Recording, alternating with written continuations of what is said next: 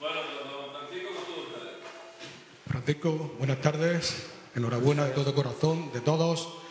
Y independientemente a la valoración del partido, la pregunta es, ¿qué se siente en estos momentos de, de, de, de culminación de tanta lucha, tanta incertidumbre? ¿Qué se siente en estos momentos? Es difícil de explicar con palabras. Ya me pasó un año cuando ascendimos eh, el primer año que ascendimos con UNAI y vuelvo a sentir lo mismo. Difícil explicar lo que uno siente, la felicidad. Te olvidas de todo lo que has pasado, del trabajo, de, los malos momentos. Solo quieres disfrutar con tu gente, con tu equipo, con tu afición. Estamos súper orgullosos de toda la gente que ha venido al estadio hoy, que ha apoyado hasta el final. Y sobre todo, pues, eh, valorar el trabajo que nos ha dado este premio, que ha sido, ha sido muchísimo Así que sentimos una tremenda alegría por volver hasta el año que viene en primera. Viste, enhorabuena. Gracias. Una salvación que vale a un ascenso, a un campeonato, ¿no? A un campeonato. ¿Cómo lo ha vivido? Porque el partido ha habido resultados alternos de otros campos que no favorecían y sobre todo después de 40 minutos en los que seguramente psicológicamente habéis tenido que demostrar vuestra fortaleza, ¿no? Sí, han pasado muchísimas cosas durante el partido. Eh, al final, eh, la primera parte yo creo que el equipo ha, estado muy equilibrado, no, no, han creado ocasiones de gol. Nosotros hemos generado, tampoco, tampoco muchas, pero sí algunas.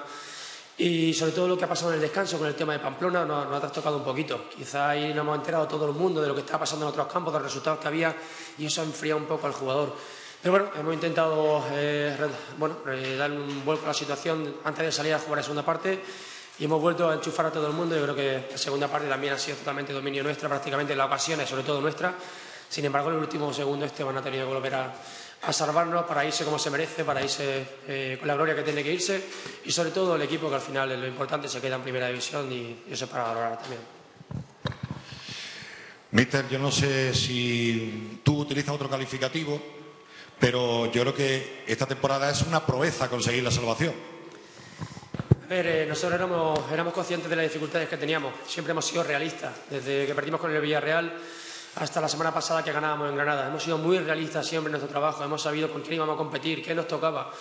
La dificultad que tenía hasta el año que viene en primera. Por eso estamos aquí y estamos salvados ahora mismo, porque hemos sido realistas, porque sabíamos que teníamos que poner todo de nuestra parte, porque casi todos los equipos eran superiores a nosotros en cuanto a calidad.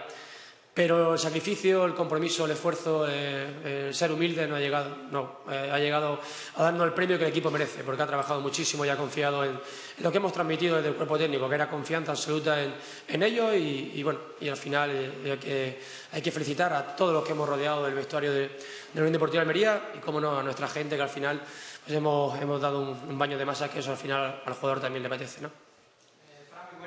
¿Cómo ha podido afectar al equipo ese antes lo comentamos con el Chingurri y Valverde, lo del descanso tan largo que ha habido en esa caseta, porque daría tiempo para hablar de todo y para pensar de muchas, cosas. Sí, sí, por supuesto. Eh, al final ahí todo estaba en contra. Sosuna iba ganando y el Getafe iba ganando, el Granada iba ganando, o sea que perder nos complicaba muchísimo la vida y todo eso el jugador era consciente.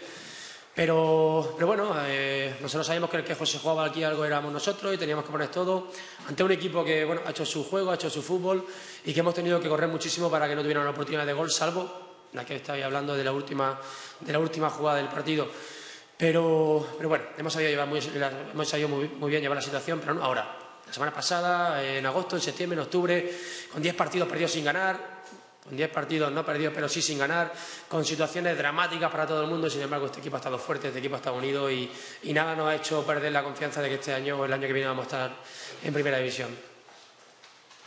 enhorabuena, Francisco. Gracias. Eh, de segunda división B a, primera. Eh, no sé cómo está tu situación con, el club, pero era el tío de moda ahora mismo en la primera división. ¿Cómo, cómo ve el futuro cercano de Francisco? Mira, ahora mismo de verdad, eh, casi no hemos tenido tiempo para pensar en eso y ahora lo que me apetece es celebrar. Eh, celebrar porque hemos sufrido muchísimo, porque hay mucho trabajo detrás de todo esto. Y me apetece celebrar luego lo que tenga que pasar. Yo estaré súper orgulloso porque el equipo estará en primera. a partir de ahí, las decisiones que, que no puedo tomar yo, tengo que mantenerme a la margen y, bueno, y seguir ilusionado con, con, este club, con esta ciudad, con esta provincia que se merece tener fútbol en primera y el año que viene lo van a volver a tener. Fran, eh, enhorabuena por, por, la permanencia.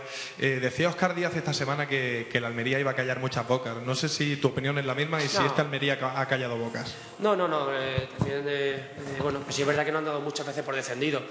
Nos lo daban antes de empezar la liga, nos lo han dado durante muchísimos meses y hace cuatro semanas, cuando perdimos con el Celta, yo creo que muy poquito apostaban por este equipo. Eh, sin embargo, de los últimos 12 hemos sacado 10. O sea que no es tapar boca, yo creo que es agradecer o, bueno, o intentar lo que, dar lo que nuestra gente nos ha dado. Y eso es nuestra obligación, eh, no es tapar boca ni muchísimo menos, al revés. Muy contento, agradecer a todos también, porque todos hemos colaborado, esto es de todo.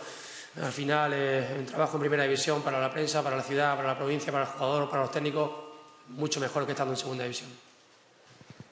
Eh, Mister, enhorabuena y sobre todo es un orgullo que Almería siga con un equipo humilde sobre todo, mm. pero en estos momentos de felicidad también es consciente de la gente que ha estado con el sufrimiento, con los malos días, los malos resultados ¿A quién le dedica el triunfo y de qué recuerdos tiene en estos momentos? Lógicamente, los jugadores y en este caso yo, el cuerpo técnico hemos pasado momentos malos. Yo recuerdo primera vuelta después del partido del Rayo, para mí ha sido como deportista, como profesional, para mí los peores momentos, porque, porque todo se iba. Y bueno, y ahí fue cuando mi familia, mi mujer en este caso, todos me apoyaron, pero lo más importante, mi, mi vestuario, mi vestuario de jugadores de, de cuerpo técnico, que son los que tiraron también ese momento de mí, y también tengo que agradecerle ese momento, ¿no?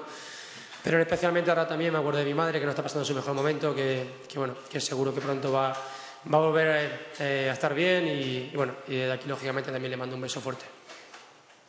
Eh, Paco, no sé si la permanencia al final es lo, importante, eh, la, la, permanencia es lo importante, pues lo que se, lo que se conseguía, pero el haber hecho 10 puntos al final de los últimos 12 con equipos que no se han relajado en ningún momento, no sé si eh, da más regusto eh, eh, bueno, ¿no? De decir, lo hemos conseguido, hemos llegado a estos 40, pero con equipos que no han dado un balón por perdido. Por supuesto, al final hemos competido al 100% y nosotros igual. después del partido del Celta no podíamos permitirnos ningún pinchazo y, así ha sido. Te soy sincero, ahora mismo la situación nos envuelve un poco y quizá no estoy expresando la alegría que puedo tener dentro de mí porque, porque, porque bueno, todo se nos ha venido encima. La afición, la gente, esto ha un estallido. Antes del partido, sí te aseguro que en el hotel sabía lo que nos jugábamos, sabía lo que se jugaba el club, sabía lo que se jugaba Alfonso, sabíamos lo que jugamos todo con nuestro futuro y bueno, y mañana estoy convencido también de que, de que la alegría quizás la sepa llevar mejor. Sí, yo quisiera terminar, bueno, con permiso de los compañeros, con un factor muy importante que también se ha dado en esta histórica tarde, al margen de la permanencia del equipo en primera, es, por lo menos para mí, que ya peino cana y llevo tantas temporadas viendo fútbol, viendo y sintiendo vibrar casi como nunca, como los mejores tiempos, a la afición de Almería, que hoy no ha sido con entrada de regalo, que ha pasado por tequilla y ha estado del primer al último momento y totalmente identificada con el equipo, que ese era uno de tus mensajes a lo largo de esta temporada tan complicada. Sí, sí, y yo creo que todos lo hemos notado. Lo notábamos en el primer partido de Villarreal, la gente se enchufó y hemos vibrado con ellos y nos han transmitido y nos han ayudado en el 94, en el minuto 94 con la Real Sociedad y con el Betty y con muchísimos partidos que ellos también han colaborado en la victoria. Era fundamental un equipo como nuestro que nuestra gente se sintiera identificada y tratamos de eso también, de mandar mensajes que al final dependíamos también mucho de ellos. Lo entendieron y bueno, para ellos también, lógicamente, la permanencia y, bueno, que disfruten, que disfruten de una, yo creo que de un reto importante para todos, que lo hemos conseguido a base de mucho sacrificio, mucho entusiasmo y sobre todo eh, sintiéndonos muy almerienses todos, ¿no? Muchas gracias.